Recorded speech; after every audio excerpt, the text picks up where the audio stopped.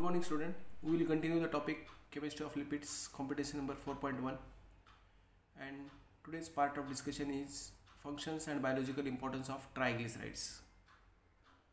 As all of us know that triglycerides or triacyl glycerol are neutral fats. They are esters of trihydric alcohol glycerol with fatty acid. So this is the diagrammatic representation of triacyl glycerol molecule where central glycerol molecule is there as alcohol to which the three fatty acids are attached. Now the three carbons of this glycerol are numbered as 1, 2, 3 or they are also named as alpha, beta and alpha dash from above downwards. Monoglycerides or monoacyl glycerol means when one fatty acid is attached to a glycerol molecule. Similarly, diglyceride means when two fatty acids are attached to a glycerol molecule, and triglycerides are formed when three fatty acids are attached to the glycerol molecule. Simple and mixed triglycerol or triglycerides means when all the three fatty acids attached to the glycerol molecule are same, then they are called as simple triacyl glycerol or simple triglycerides when the fatty acids attached to the glycerol molecule are different then they are called as mixed triglycerides. Generally it is found that in majority of the triglycerides at second carbon atom or at beta carbon atom polyunsaturated fatty acid is attached. Coming to the physical properties of triacyl glycerol or triglycerides they are hydrophobic and insoluble in water. You can call these triglycerides as oils or fats. When the triglycerides are liquid at 20 degrees centigrade then we call them as oils. Generally they contain unsaturated short chain fatty acids and they are plant origin. When these triglycerides are present in solid form at room temperature, then we call them as fats. Generally, they contain saturated long chain fatty acids and they are animal in origin. It is the major fat which is stored in our body in the adipose tissue. In a normal 70 kg man, about 11 kg of triglycerides are stored in his body which supplies about 1 lakh kilocalories during fasting and starvation state. So this fat is stored in small volume as compared to the other storage form of energy like glycogen. So here example is given if you want to store a glycogen of 1 lakh kilocalories then the weight of that glycogen molecule may be around 65 kg that means triglycerides are stored in small volume and they form only 11 kg for 1 lakh kilocalories. This is because triglycerides are hydrophobic in nature. They repel water and they get accumulated in small space. Next hydrolysis of triglycerides. The triglycerides in the body are hydrolyzed by the enzyme hydrolase class of enzyme and the na name of enzyme is lipase. This lipase enzyme breaks the triglycerides sequentially by removing one after one fatty acid to form diglyceride or diacyl glycerol, and free glycerol. Next we will see important topic called as rancidity of fat. Fats and oils have tendency to become rancid. Now what is the meaning of rancid? Rancidity is the term which refers to the unpleasant smell and unpleasant taste for the fats and oils on storing. Mainly the rancidity of two types hydrolytic rancidity and oxidative rancidity but sometimes due to repeated heating of oil or fat the they undergoes rancidity which is called as rancidity due to heating. First we will see what is meant by hydrolytic rancidity.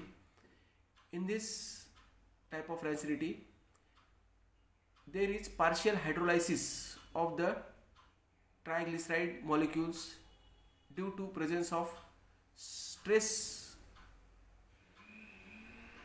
amount of hydrolytic enzymes leading to unpleasant taste and smell to the oils and fats.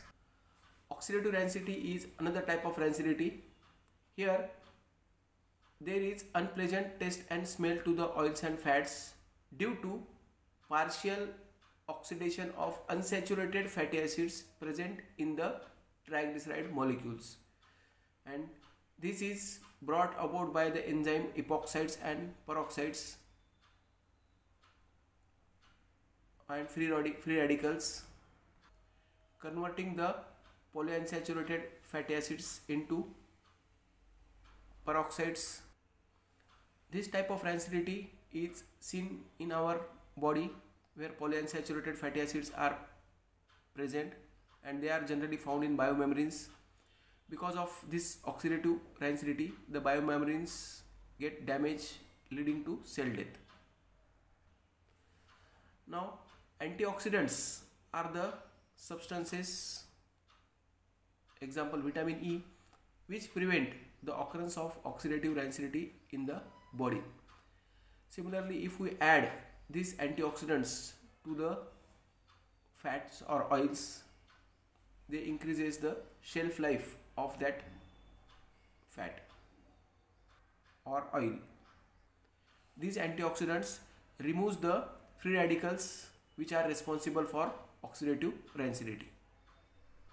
Now sometimes due to repeated heating of oil also leads to polymerization of the hydrocarbon chain which also gives rancidity to, to the oil and fat. Next is oxidative rancidity versus peroxidation. Oxidative rancidity means